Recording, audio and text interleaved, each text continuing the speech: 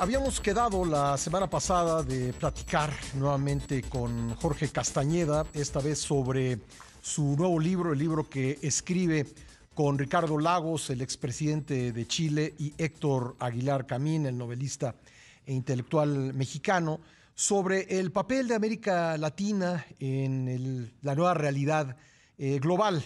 Y vamos a tener esa conversación. ¿Cómo estás, Jorge? Hola, ¿qué tal, Pascal? ¿Cómo te va? Qué gusto saludarte y verte. Igualmente, Jorge, gusto tenerte en el programa otra vez. Oye, eh, antes de entrar en la materia del libro, eh, entiendo, me decías la semana pasada que la presentación es hoy, ¿verdad? No, mañana. Mañana. Mañana a, la, mañana a las seis de la tarde en el Club de Industriales. Ah, perfecto. Y van a estar eh, ustedes los autores, aparte de otras personas. Sí, digan, pero el libro lo vamos a presentar Héctor Aguilar, Ricardo Lagos, el expresidente Lagos, y, eh, y, yo mismo, y entiendo que va a haber algunos colegas de Ricardo Lagos también en la sala. Perfecto, bueno, entonces mañana, eh, 6 de la tarde, University Club, ¿correcto? No, Club de Industriales. Perdóname, perdóname. En Polanco. Club, Perdón, de, Industriales Club de Industriales en, en Polanco. En Polanco. De acuerdo. De acuerdo, gracias Jorge. Bueno, pues mira, muy interesante. Eh, quiero comentarle a la audiencia que el libro consiste en una conversación que ustedes tres eh, tuvieron en los tiempos de la pandemia y después eh, eh, ya recientemente agregaron algunas cosas porque está tan actualizado que, bueno, aborda aspectos muy, muy, muy recientemente ocurridos dentro de la, del conflicto de Rusia y Ucrania, pero el tema general, y me parece interesantísimo el libro, es el papel que juega América Latina en el nuevo mundo global en el que tenemos eh, pues básicamente cuatro actores, ustedes lo dicen, están China, Estados Unidos, Rusia y la Unión Europea, cada uno de ellos con eh, eh, tamaños distintos, eh, con, con influencia distinta en el mundo, pero con una América Latina que se está haciendo chiquita, una América Latina que en otros tiempos podía descolgar el teléfono el, presidente, entonces presidente de Chile, Ricardo Lagos, y hablar con el presidente de Estados Unidos, eh, George W. Bush, y resolver un asunto concreto. Hoy, quién sabe si un presidente latinoamericano tuviera mucho éxito eh, llamándole a Joe Biden y sobre todo logrando eh, pues que Joe Biden pudiera resolverle un asunto. Mira, más que si pudiera hablarle, yo estoy seguro que, eh, por ejemplo, el presidente López Obrador, eh, el presidente Boric de Chile, eh, incluso en cuanto tome posesión el presidente Lula de Brasil a partir del primero de enero, si toman el teléfono, Biden les va a contestar. Lo que no estoy seguro para nada es que cualquiera de ellos pueda hablar a nombre, uh -huh. no diría de todo, toda América Latina, pero por lo menos de un buen número de países de América Latina, como sucedió en ese ejemplo que daba el presidente Lagos a propósito de la bancarrota, la crisis argentina de 2002. Eh, eso es lo que hoy es imposible y el tema, el leitmotiv del libro, Pascal, en efecto, es esta soledad de América Latina, este hecho de que América Latina no pinta en el mundo hoy. Por muchas razones, las describimos en el libro, pero una de ellas sin duda es su falta de unidad, el hecho de que no hay una voz común, no hay una visión común, por lo menos a los principales países, México, Brasil, Argentina, Chile, Colombia, digamos, esos cinco, Venezuela y Perú, si quieres agregar otros dos, eh, que por lo menos en los distintos foros internacionales, en las distintas tribunas o ante las distintas crisis, hubiera una cierta eh, unidad, una cierta visión común. No es el caso y por eso América Latina es pues, una de las razones por las cuales América Latina no pinta.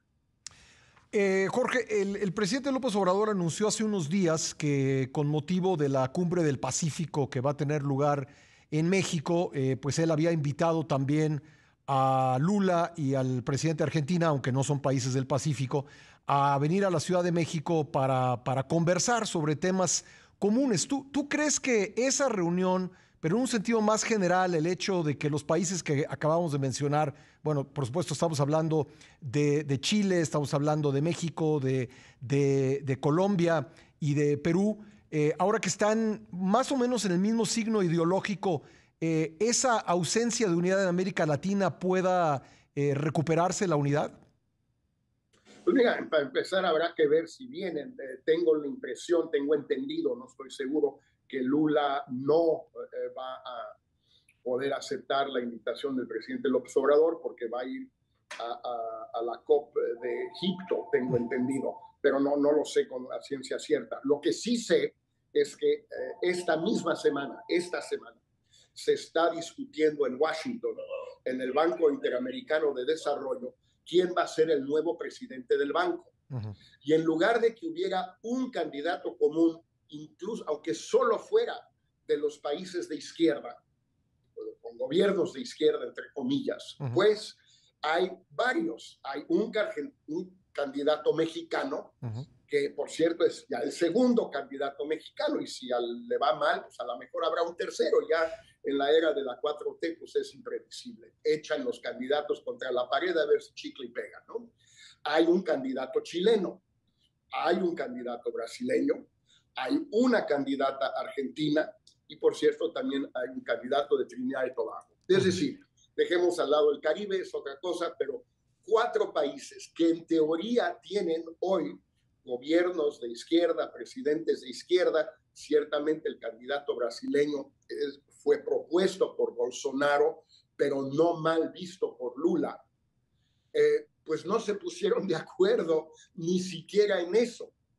Eh, y eh, lo único que se ponen de acuerdo a veces es para estar en contra, como seguramente México, Brasil y Argentina en la cumbre del G20 en Bali, en Indonesia, ayer, eh, vetaron, junto con otros, sin duda, con Rusia, con la India, China, un comunicado conjunto del G20 condenando la invasión Rusia, rusa de Ucrania. Entonces, a lo mejor sí vienen todos a México, Pascal, pero de que no están de acuerdo, pues no están de acuerdo. Entonces, ¿tú, crees que el hecho de que pues se autodenominan eh, gobiernos de izquierda pues no es suficiente para una unidad de propósito y sobre todo para recuperar el, lugar importante que llegó a tener América Latina en el concierto mundial?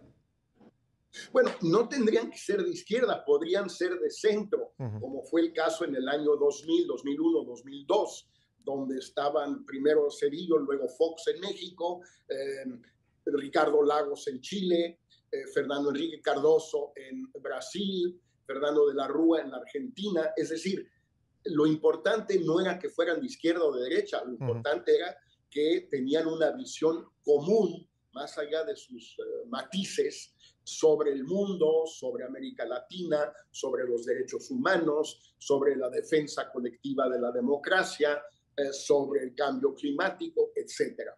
Hoy no existe, existe esa unidad. Eh, cuando se dice de izquierda, nosotros en, el libro, lo, muestro aquí para el público, nosotros en el libro lo que hacemos es eh, insistir en que no hay una nueva marea rosa de izquierda en la región. Eso es falso es algo que les gusta mucho decir a los partidarios de la 4T, por ejemplo, pero que no corresponde con la realidad.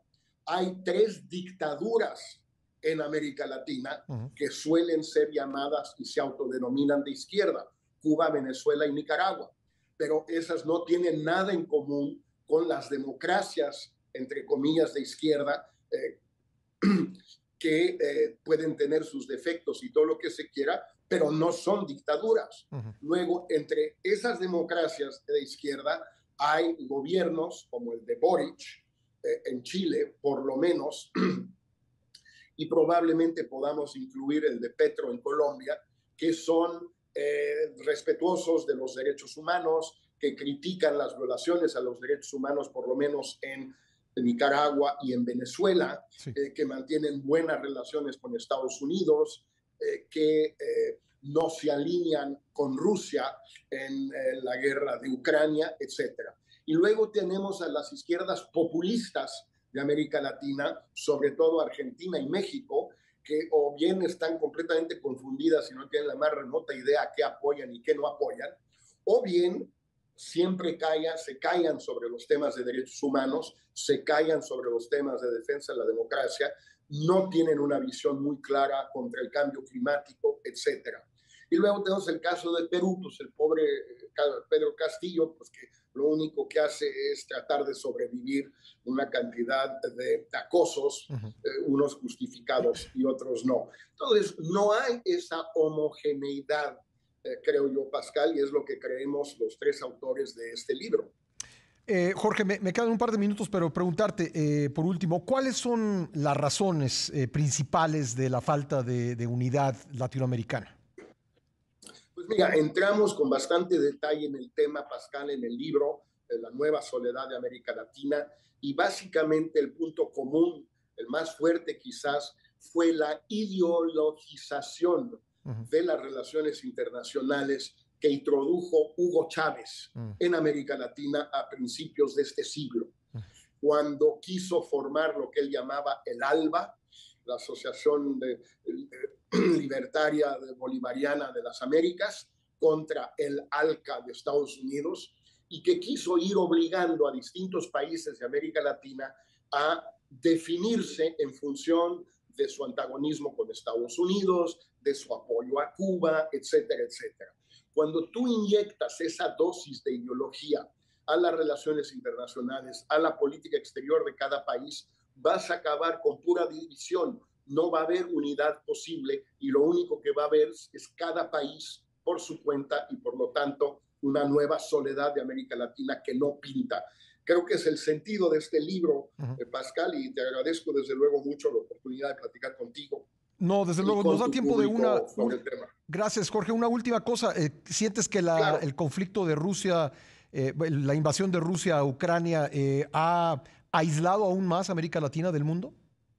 Pues sí, porque las posiciones han sido muy ambiguas. Eh, Brasil, eh, que es miembro del Consejo de Seguridad de la ONU, en una votación votó, condenó la invasión, pero en otra votación se abstuvo, como suelen hacer los brasileños cuando están en el Consejo de Seguridad. México, que está en el Consejo de Seguridad también, ha condenado en dos ocasiones la invasión, pero cada vez que habla López Obrador dice que México es neutral, que no toma partido. Eh, a la Argentina más bien ha apoyado a Rusia, más bien ha apoyado la invasión, aunque no de manera categórica, y Chile la ha criticado muchísimo. Entonces, pues no hay ninguna posición común, ni siquiera en algo que debiera ser relativamente sencillo, Pascal, pues porque es un caso flagrante de violación del derecho internacional y de la Carta de la ONU. Pues eh, Jorge, un gusto conversar contigo. Entonces mañana, eh, miércoles 6 de la tarde, Club de Industriales en Polanco, la presentación de este libro, muy interesante, se lo recomiendo mucho a la audiencia, en Editorial Debate, La Nueva Soledad de América Latina, una conversación de Ricardo Lagos, Jorge Castañeda y Héctor Aguilar Camín. Gracias, Jorge. Gracias, Pascal, un fuerte abrazo. Otro para ti, gracias.